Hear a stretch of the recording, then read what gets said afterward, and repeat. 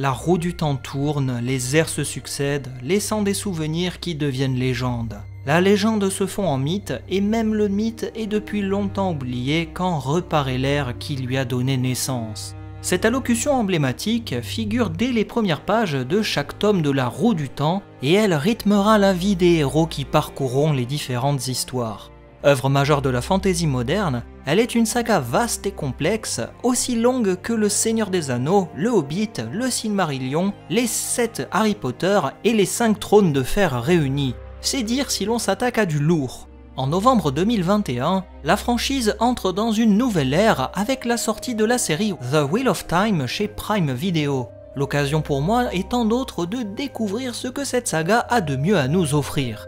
Étant moi-même un néophyte dans cet univers, je souhaitais vous proposer une vidéo introductive sur la roue du temps, sa conception et quelques pistes sur le scénario pour qui sait, peut-être vous donner envie de vous plonger dans cette saga. L'idée n'est pas de rentrer dans le détail, voyez cette première vidéo comme une entrée en la matière avant de vous accompagner dans l'exploration de la série. Vous n'avez donc pas de souci à vous faire côté spoiler puisque je m'efforcerai de rester dans des généralités. Vous pouvez également me suivre sur mes réseaux sociaux si votre destin s'écrit par là-bas. Êtes-vous désormais prêt à lancer la roue du temps? Allez go, c'est parti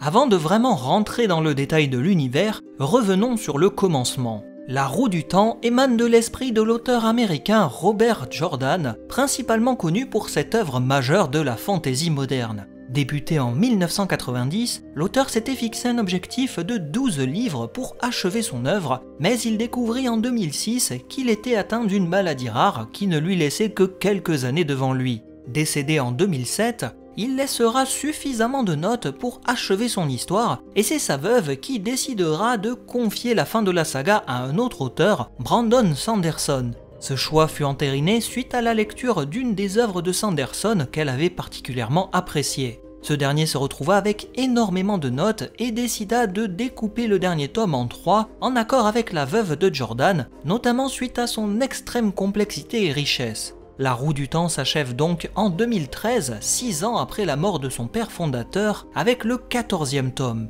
Mentionnons également qu'il existe deux œuvres annexes, un livre qui fait office de préquel à la saga publié par l'auteur originel en 2004, et enfin une grande encyclopédie présentant le monde de la roue du temps, publiée cette fois-ci en 1998. En France, la roue du temps a connu des hauts et des bas, notamment en termes de traduction.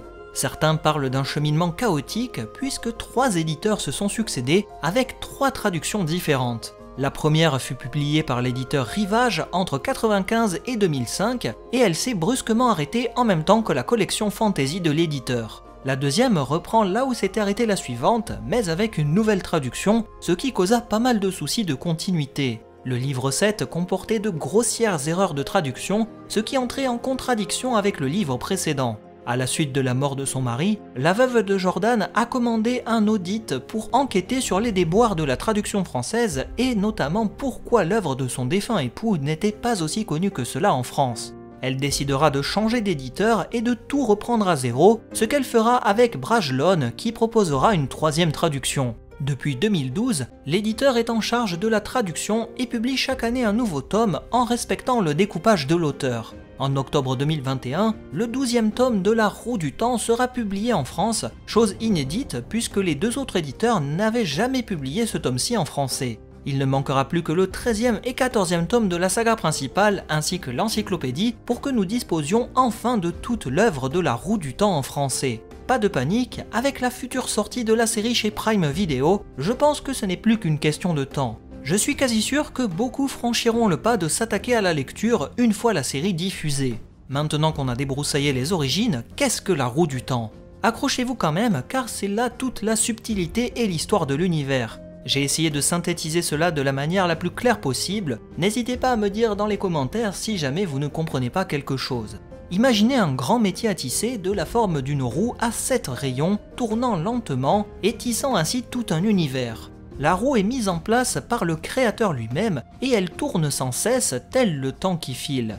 La trame qu'elle tisse est construite à partir des fils des vies et événements entrelacés dans la grande trame. La dentelle des âges n'influe pas seulement sur le monde physique, mais aussi sur les grands mondes de l'univers. La roue touche tout ce qui doit être, ce qui aurait dû être et ce qui est. En clair, la roue du temps définit le passé, le présent, mais aussi le futur. Chacun de ces rayons représente l'une des sept ères. Une seule chose est certaine, la roue tourne et tout reviendra à nouveau comme avant. Ce principe est le fondement de l'histoire du monde. Une mort n'est pas nécessairement définitive à l'intérieur de la roue, et la réincarnation est une partie intégrante du monde. Les prophéties sont craintes et respectées puisqu'elles prédisent l'avenir. Quand et de quelle manière ces prophéties vont se dérouler, difficile de réellement se prononcer. Dans un tel monde, le changement est simplement une partie prédéterminée du mécanisme. Seulement quelques individus, appelés les tavernes, peuvent influencer le tissage autour d'eux. Ils sont des fils principaux autour desquels d'autres fils, ou quelquefois tous les autres fils,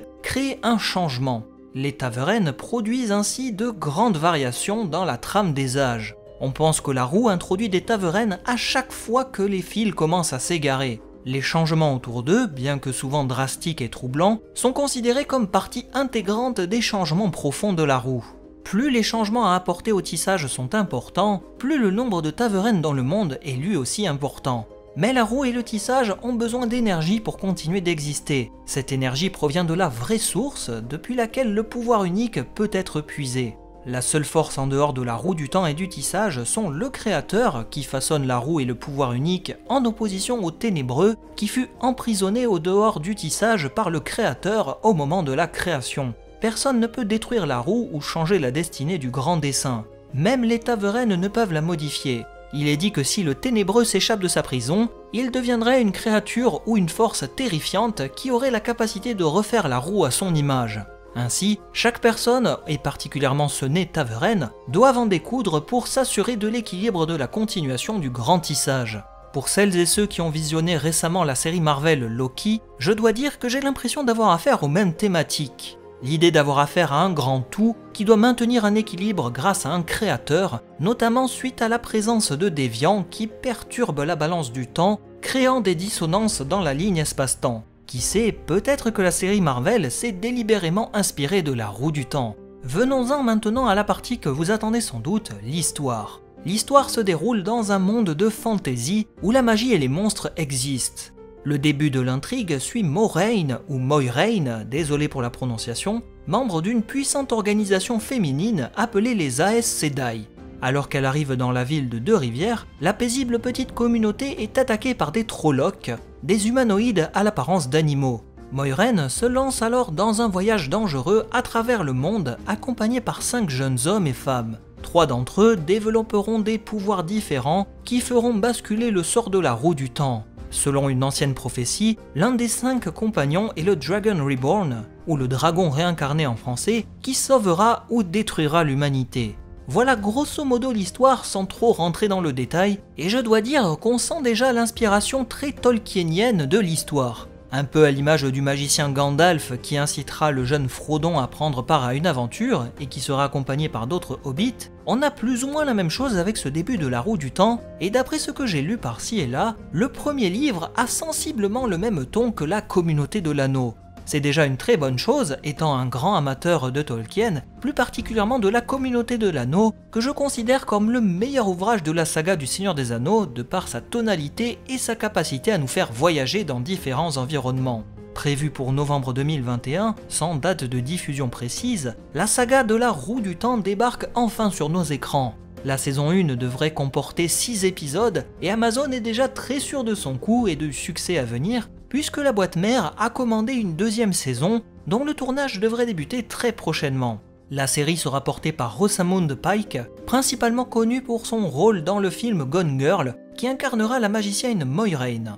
Le reste du casting m'est totalement inconnu, mis à part Alvaro Morte, connu pour son rôle de professeur dans la Casa des Papels. Espérons que nous aurons le droit à une série intéressante qui saura donner vie à cette saga littéraire majeure de la fantasy. Comme je vous l'ai dit au tout départ, il s'agit d'une vidéo introductive pour vraiment tâter le terrain. J'ose espérer qu'elle vous aura plu et donner envie de vous plonger plus en détail dans la saga. Peut-être que vous attendez de voir la série avant de vous lancer dans les livres, ou bien vous avez déjà terminé la lecture et vous attendez de pied ferme cette adaptation télévisuelle. Comptez sur moi pour vous accompagner du mieux que je pourrai, étant un jeune débutant comme beaucoup dans l'univers de la roue du temps. On se dit à très bientôt si le destin s'écrit ainsi, et à la prochaine pour d'autres analyses et explorations. Salut à vous